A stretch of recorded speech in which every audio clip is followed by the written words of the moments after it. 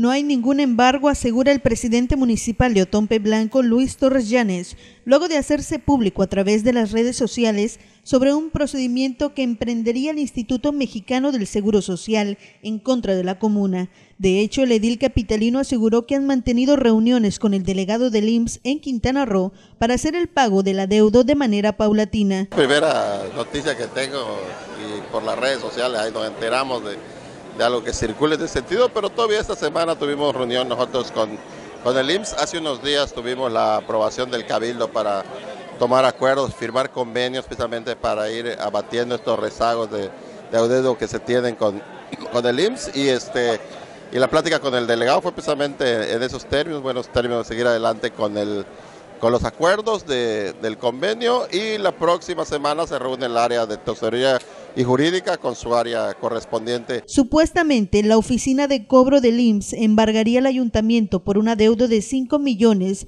459 mil 44 pesos por concepto de omisión del pago a dicha institución correspondiente a sus trabajadores. Sin embargo, Torres Llanes aseguró que no han sido notificados al respecto, muy a pesar que se ventiló que los oficios fueron colocados a las afueras del Palacio Municipal.